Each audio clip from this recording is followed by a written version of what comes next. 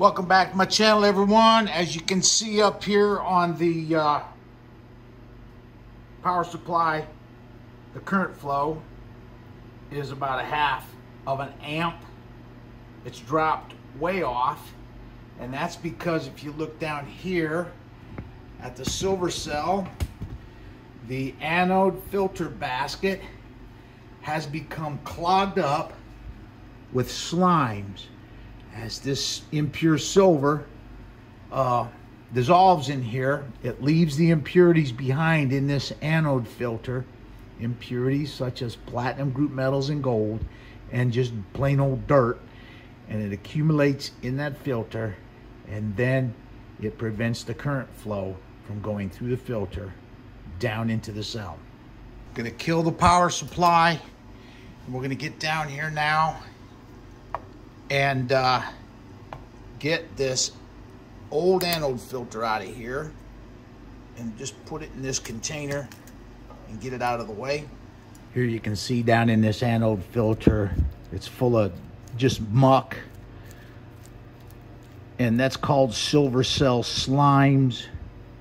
And like I said, it's it'll have precious metals in it because the impure silver shot that's in here that I feed into this thing has precious metals in it, platinum, palladium, and some gold. And as the silver dissolves from the electrolytic action, those insoluble materials and precious metals uh, get left behind and accumulate in this anode filter and what it does is it plugs the filter up and then the current flow uh, slows way down through the silver cell. I've got a brand new anode filter made up. It's just a food cup with some holes punched in it. And there's a Dacron filter bag.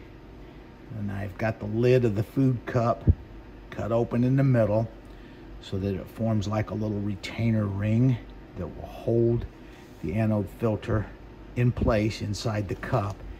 Here's some of the impure shot that we're feeding in. This is impure silver shot that I recover from my gold refining operations. I use sterling silver to refine the gold. I pull the silver back out with nitric acid. Then I recover the silver from the gold refining operation, melted into shot to form these granules, shot, and then I use this material as feedstock for the electrolytic silver cell. All right, we've got that filled up. So now what we'll do is take it over here to our silver cell got this covered up so nothing falls down in here. And we're gonna put the uh, new, newly prepared anode filter down into the silver cell. And we're gonna reinstall the anode electrode bar on top of the anode filter. Let's take a peek down into the cell. This has uh, been in operation since last Friday, and today is Wednesday. And so here's what it looks like down inside of my electrolytic silver cell. What happens is the current flow that travels through the anode electrode bar and into the uh, silver shot up there the current flow goes through the anode filter, dissolves that silver and the copper that's in there. And then that uh, dissolved copper and silver flows down into the silver nitrate electrolyte in my silver cell. The copper is what turns it blue. Silver nitrate is clear and colorless like water.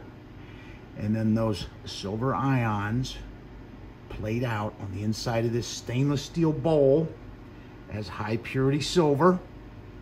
The copper just builds up in the electrolyte. It does not plate out. It builds up in the electrolyte.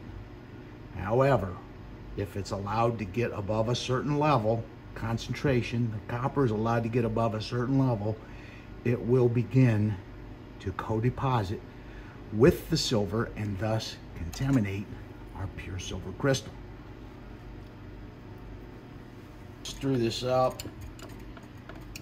Whenever I go in here to look at this and check and see how things are going, by stirring it up, I uh, keeps that electrolyte moving around in there. And I keep a cover on here to prevent junk from falling down in there. Now what we're going to do is energize the power supply and see what the current flow is now that we've installed a new filter.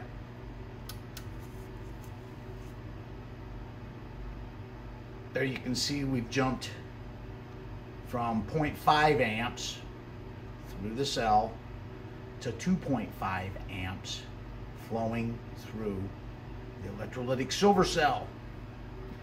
I'll allow this thing to run for about now 10 days or 14 days or so and uh, let this thing get full of pure silver and we'll take it apart and harvest the pure silver crystal. Okay, this will conclude the video. Thank you for watching.